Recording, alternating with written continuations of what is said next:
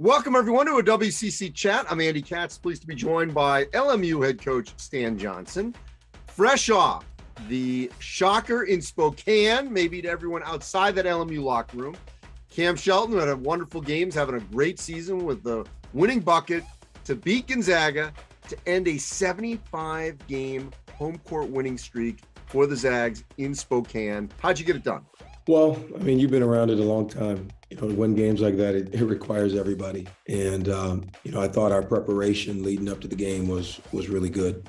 You know, the, the big thing I've been talking to our guys about is just, you know, poise. If we want to have a great year, you want to win big games, you know, you got to just do the basics. You know, sometimes you, you know, you go into games like that and you think you need to be a hero. You got to do the basics. It still comes down to keep the ball in front, boxing out, playing good defense and taking good shots. And I thought our guys had great poise during the game, which was really a reflection of what they were leading up to the game, you know, and, and it's kind of who we've been. So, you know, a lot of people talk about Cam Shelton and man, he made the game winner. What people don't realize is that halftime, right before halftime, we ran a play that we walk through or we go through every shoot around. It's a long distance play. We threw it deep. We executed it. Justin got a little lucky and banked the shot in. We were down one instead of four if he doesn't make that shot, we don't win the game. You know, so everybody had a had a role in that. Stan, you and I have talked over the last couple of years. Solid year, first year. I know you're a little disappointed in, in the second year, and, and yet the momentum is still there.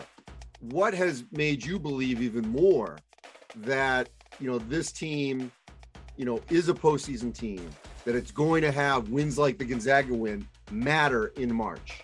Well, I, I think um, you know just the guys in the locker room, our guys give me the greatest belief. For the most part, we've been a team that's been able to really bounce back.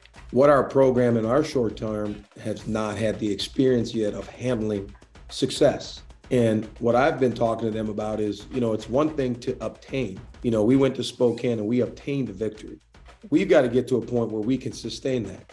You know, so our guys have great bounce back ability. That's what gives me belief. But we have to be able to do that after having a great victory. We have to be able to put it together. That's really hard in this league.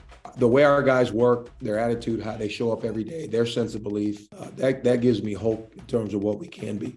Well, you're doing a great job. Look, when you build a program, it's not a straight line. There's zigs and zags, and you hit on them all.